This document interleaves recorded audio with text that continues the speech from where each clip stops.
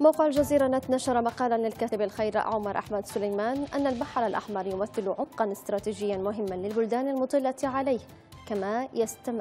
يستمد أهميته من موقعه الجغرافي الذي وفر للقوى الإقليمية والدولية إمكانية الوصول إلى المحيط الهندي والبحر الأبيض المتوسط فضلا عن أهميته في ثلاث دوائر أمنية هي الأمن القومي العربي والأمن الأفريقي والأمن العالمي.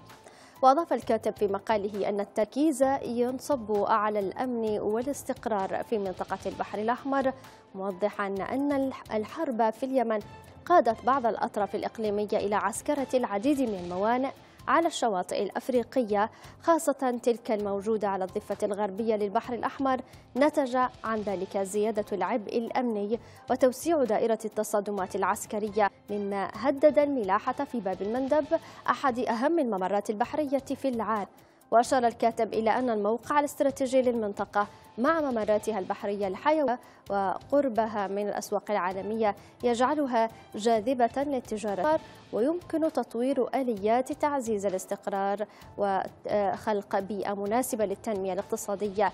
لكن عدم الاستقرار السياسي والصراعات الداخلية والنزاعات الحدودية تشكل عقبات رئيسية في طريق تحويل منطقة البحر الأحمر إلى منطقة جذب استراتيجي قائمة على التعاون بدلا من الصراع.